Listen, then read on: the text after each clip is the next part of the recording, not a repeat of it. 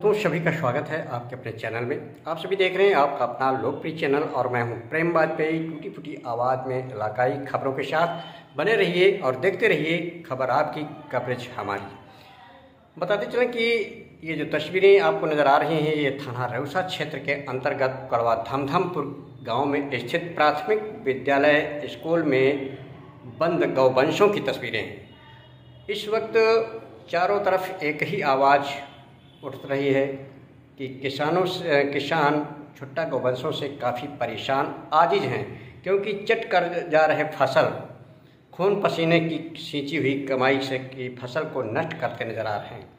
आए दिन किसान अपने खेतों में सो रहा है। काफ़ी लोग परेशान हैं और आज उसी परिप्रेक्ष्य में कड़वा धमधमपुर के किसानों ने प्राथमिक विद्यालय गाँव में ही तकरीबन सैकड़ों छुट्टा गौवंशों को बंद कर अपना गुस्से का इजहार किया। काफ़ी धरना प्रदर्शन करते नज़र आए कई घंटों तक।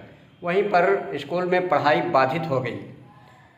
खंड शिक्षा अधिकारी रामजनक वर्मा भी पहुँचे और तहसीलदार उमाशंकर त्रिपाठी भी पहुँचे मौके पर। प्रशासनिक अमला मौके पर पहुंचकर किसानों को समझा बुझाकर छुट्टा गौवंशों को निजात बंद कर छुड़ाया। बंद गौवंशों को छुड़ाया। वहीं पर लोगों को आश्वासन दिया कि गाँव के पड़ोस में अस्थाई बाड़ा बनाकर इनको बंद किया जाएगा और गौशाला का भी निर्माण बहुत जल्द कराकर छुट्टा गौवंशों से निजात दिलाने का बात मौके पर पहुँचे अधिकारियों ने कही। किसानों का आरोप था कि आए दिन हम लोग खेतों में सो रहे हैं और फ़सल का काफ़ी नुकसान होता जा रहा है।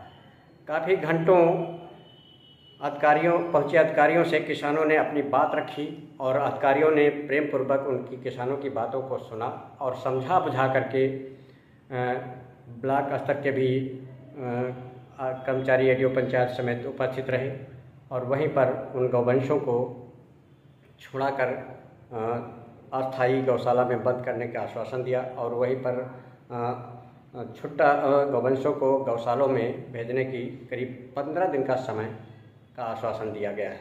आइए बात करते हैं किसान क्या बोले। कवरेज कड़वा धमधमपुर निवासी अमरेंद्र पांडे की रिपोर्ट उन्होंने द्वारा एक कवरेज की गई है जो आप देख पा रहे हैं। स्कूल में बंद गौवंश से परेशान किसानों ने किया प्राथमिक विद्यालय में बंद। आप लोगों की क्या समस्या है? हमारी समस्या है ये जानवर जो है वो सब खेत जो है वो चरे डाल रहे हैं तो पूरा खत्म कर रहे हैं एकदम। तो इनके जो है वो व्यवस्था की जाए। दो साल हो गए गौशाला बनते बनते। कितना इंतज़ार किया जाए? आखिर एक हद होती है। आदमी देख लीजिए एक एक खेत में दो दो खाद डाल के आदमी लेट रहे हैं रात रात भर लेटते हैं दिन दिन भर लेकिन एक खेत बचाते हैं तो दूसरा चर जाता है दूसरा बचाते हैं तो तीसरा चर जाता है। कौन कौन उपाय और जब तीसरे में जाते हैं तो पहला वाला चर जाता है। अच्छा आपकी मांगे क्या हैं? मांगे हमारी बस जानवर बांधे जाए। बंधन कर लिया जाए। जानवर का गौशाला में किसी या कहीं भी जहाँ पे व्यवस्था हो वहाँ पे इतने गौशाले का प्रबंध किया जाए। इनका प्रबंध किया जाए। और साहब आपके स्कूल में मवेशी ग्रामीणों ने बंद कर दिए हैं इसको लेकर आप क्या कहेंगे? इसको लेकर हम कहेंगे कि अपना जो शासन है वो इसको ले ले जाए यहाँ से ताकि हमारा स्कूल खुले बच्चों का शिक्षा व्यवस्था है वो।